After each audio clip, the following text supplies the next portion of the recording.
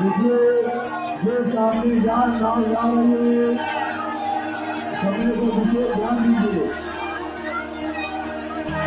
समय से पहले अपना अपना नाव